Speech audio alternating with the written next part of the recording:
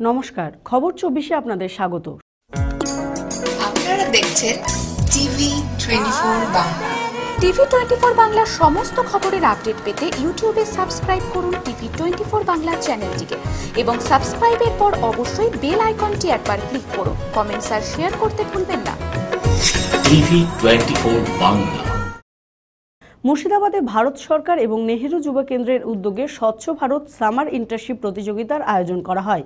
আগামী একত্রিশে জুলাই পর্যন্ত চলবে এই স্বচ্ছ ভারত ইন্টার্নশিপ যুব সমাজের মধ্যে সচেতনতাবোধ জাগিয়ে তুলতেই এই উদ্যোগ নেওয়া হয়েছে বলে জানা যায়। সারা দেশব্যাপী নেহেরু যুব কেন্দ্রের উদ্যোগে এই কর্মসূচি পালিত হচ্ছে।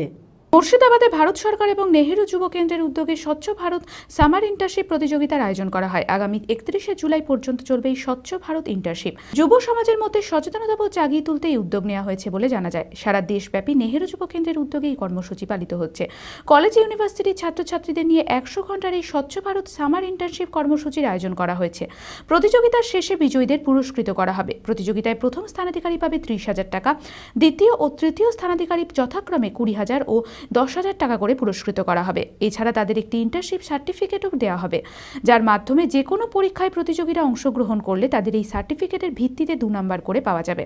তরুণ প্রজন্মের মধ্যে সচেতনতাবোধ জাগিয়ে তুলতে এই উদ্যোগ নেওয়া হয়েছে বলে জানান নেহেরু যুব কেন্দ্রের এক আধিকারিক আজকে আমাদের প্রোগ্রাম হচ্ছে একটা স্বচ্ছ ভারত সামার ইন্টার্নশিপ প্রোগ্রাম এই প্রোগ্রামটি একত্রিশে জুলাই দু হাজার আঠারো চলবে।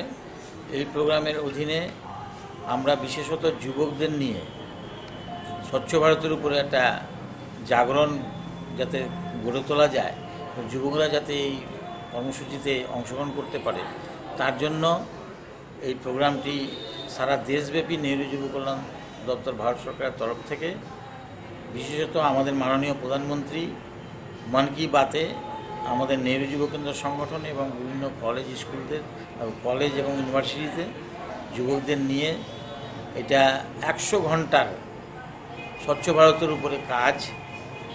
ব্যক্তিগতভাবে একজন করলে একশো ঘণ্টা করতে হবে। টিমে যদি করে তাহলে দশ ঘণ্টা করে জনের টিম হতে পারে, কুড়ি ঘণ্টা করে পাঁচজনের টিম হতে পারে। এই কাজ করলে এবং তার যদি তারা ডকুমেন্টেশন আমাদের কাছে দেয় ইলেকশন কমিটির মাধ্যমে ফার্স্ট সেকেন্ড থার্ডকে সিলেক্ট করব। প্রথমকে তিরিশ হাজার টাকা পুরস্কার, দ্বিতীয়কে কুড়ি হাজার টাকা, তৃতীয়কে দশ হাজার টাকা। এবং সাথে একটা ইন্টারশিপ সার্টিফিকেট দেওয়া হবে। সকল পার্টিসিপেন্টকেও এই ইন্টারশিপ সার্টিফিকেট দেওয়া হবে।